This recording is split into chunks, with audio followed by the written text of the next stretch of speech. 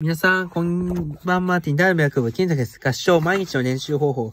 まあ、ソプラノ、アルト、メゾソプラノ、女性3部、混声4部はソプラノ、アルト、テノール、バス、これ4部やってましたね。男性4部はトップテノール、セカンドテノール、バリントン、バス、無伴奏合唱、アカペラコーラスもいいもんですね。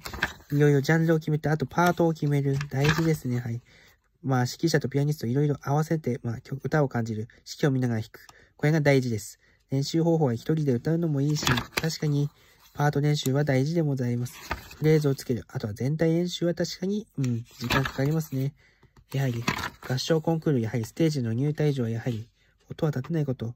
まあ、緊張するかもしれないけど、まずは衣装によっていろいろ選んで、まあ、食事はやはり、エネルギーは確かに取らなきゃいけないし、ただチョコはダメですね、唐辛子刺激。気をつけた方がいいのは生物ですね、要は。体調、まあ、飴を舐めるマスクをするのが大事。やはりコロナウイルスの影響で合唱コンクール大変ですね。はい。実行委員を決めて日程、会場、そして協賛、広告、チケット、ポスター、プログラム、プログラミング方法、いろいろですね。やはりタイムテーブルは確かに大事でございます。コンクールにも参加してほしいですね。はい。というわけで、合唱、えー、応用編でした。バイバイ。